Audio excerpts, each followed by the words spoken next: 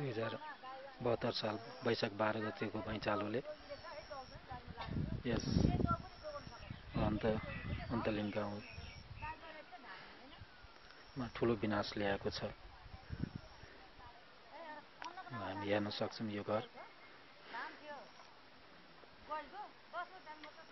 सारा घरहरू टलेका छन् र यहाँ बस्न खानको लागि समस्या बढिरहेको छ। मौसम पनि बिग्रँदो अब बिग्राउँदै गएको छ। चिसो बढिरहेको छ। यस घरभित्र।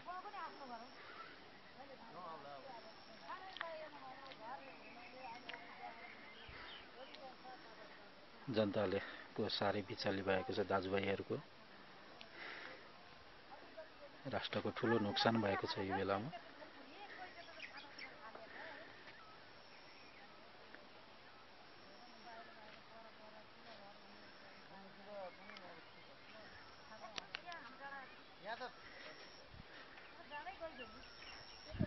सामानहरू बाहिर छरिभरि अवस्थामा रहेको छ। बाटै फुट्यो बाटै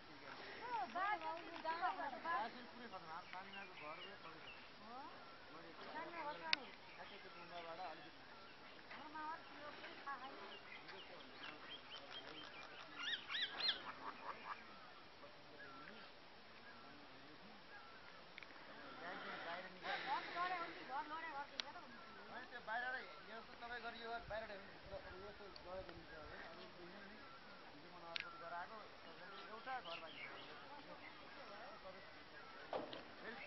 त्यतिकै बढाएर राम्रो देखाएन भने बाघले त्यतिकै दुःख